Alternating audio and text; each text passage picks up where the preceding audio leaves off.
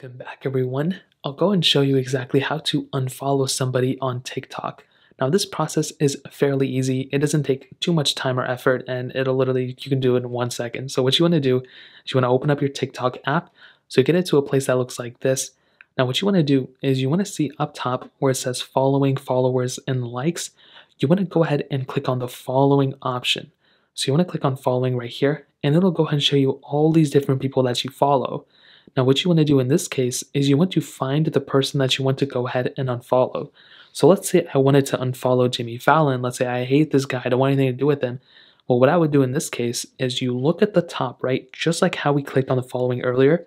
What we want to do is we want to look at these middle options right here, where it says message, a person, YouTube, or Instagram, or something like that, and a drop down menu. Now, what you want to do is you want to click on this little middle option, which showcases you and like a check mark or a person in a check mark. What you want to do is you want to click on that. And what it's going to do is basically it's going to unfollow that person. That's the unfollow button. It looks a little bit different. I don't know why they made it like this. Now, to verify you unfollowed them, if you see that follow button, then that pretty much means you unfollowed them.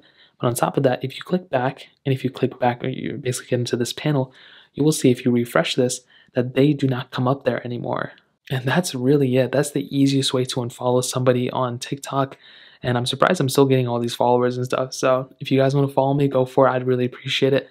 that's really pretty much it. If you guys have any other questions or anything, let me know in the comment section below. Hit the like button, but definitely hit that subscribe button. More importantly, everything else, I love every single one of you guys. Hopefully I'll catch you guys in the next video. Peace out till then.